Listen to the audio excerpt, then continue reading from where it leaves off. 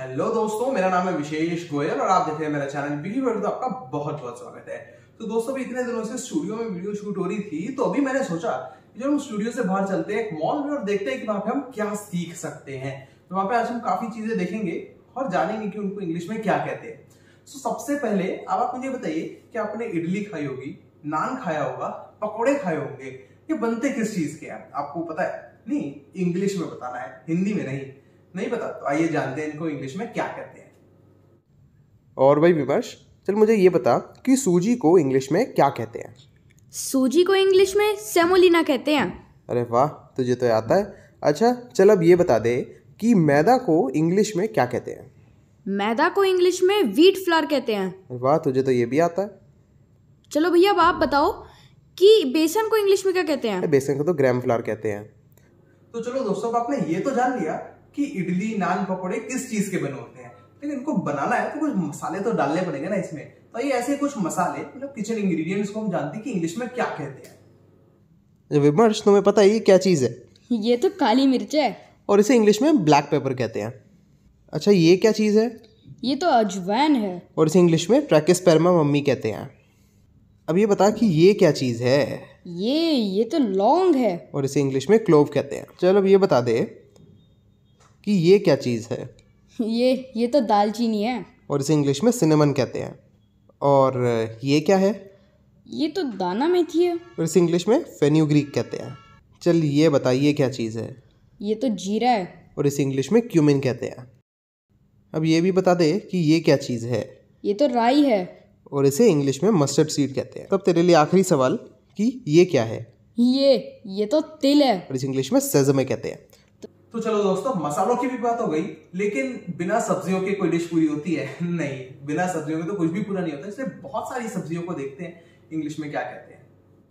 भैया पत्ता गोभी को इंग्लिश में क्या कहते हैं? इंग्लिश में पत्ता गोभी को कैबेज कहते हैं। और बैंगन को इंग्लिश में क्या कहते हैं? ब्रिंजल कहते हैं। और अब खीरे को इंग्लिश में क्या कहते हैं? खीरे को तो क्यूकम्बर कहते हैं।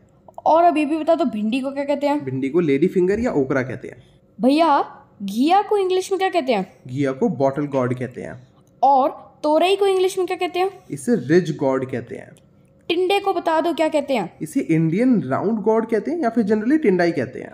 और करेले को क्या कहते हैं? इसको बिटर गॉड कहते हैं। तो दो तो दोस्तों ये है चुकंदर और इसे इंग्लिश में बीट रूट कहते हैं। इसके बाद मेरे पास है ये अदरक और अदरक को इंग्लिश में जिंजर कहते हैं। ठीक है, इसके बाद यहाँ पे है शकरकंद। और शकरकंद को इंग्लिश में स्वीट पोटैटो कहते हैं। और अब आखिरी में है, ये नींबू। और नींबू को इंग्लिश में लेमन कहते हैं। ये फूल गोभी, और इसे इंग्लिश में कॉलीफ्लावर कहते हैं। ये कद्दू है, और इसे इंग्लिश में पंपकिन कहते हैं। ये गोल घिया है, और इसे इंग्लिश में राउंड बॉटल गॉड कहते हैं। और ये ये तो भुट्टा है, और इसे इंग्लिश में कौन कहते हैं? ये गाजर है, और इसे इंग्लिश में कैरेट कहते हैं।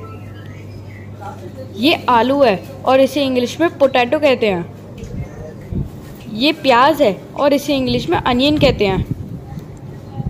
और ये टमाटर है, और इसे इंग्लिश में टोमेटो कहते हैं। तो दोस्तों, आपने सूजी मैदा बेसन जान लिया, मसाले जान लिए, सब्ज़ियाँ जान ली, लेकिन हेल्दी रहने के लिए आपको किस चीज़ की ज़रूरत है? फ्रूट्स की। तो आइए अब कुछ फ्रूट्स को देखते हैं इंग्लिश में क्या कहते हैं। दोस्तों ये मेरे पास है मौसम्बी। वैसे तो इंग्लिश में इसका कोई ओरिजिनल नाम नहीं है पर इसे स्वीट लाइम या स्वीट लेमन कह देते हैं। ठीक है तो आगे बढ़ते हैं। इसके बाद ये है संतरा जो मौसम्बी जैसा ही दिखता है और इसे इंग्लिश में ऑरेंज कहते हैं। ठीक है सो अब लास्ट में मेरे पास है ये केला और केले को इंग्लिश में बनाना कहते हैं। सो so, दोस्तों अब बात करते हैं सबसे पहले अनार की। तो अनार को इंग्लिश में पॉमीग्रेनेट कहते हैं। इसके बाद मेरे पास है यहाँ पे सेब और सेब को इंग्लिश में हम एप्पल कहते हैं। ठीक है? अब आगे चलते हैं। इसके बाद हमारे पास है ये खट्टी खट्टी इमली और इमली को इंग्लिश में टैमरिंड कहते हैं।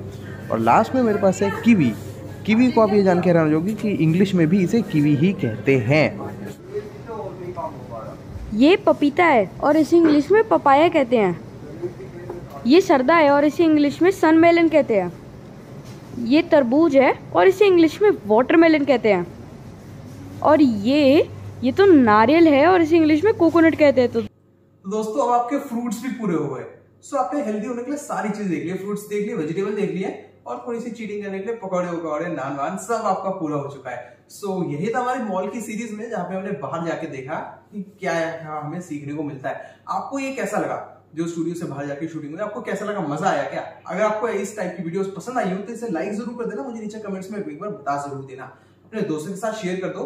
चैनल को सब्सक्राइब करके बेलाइकन को ज़रूर दबा देना। मैं बोलता हूँ अपनी अगली वीडियो में। तब तक के लिए tata bye bye thank you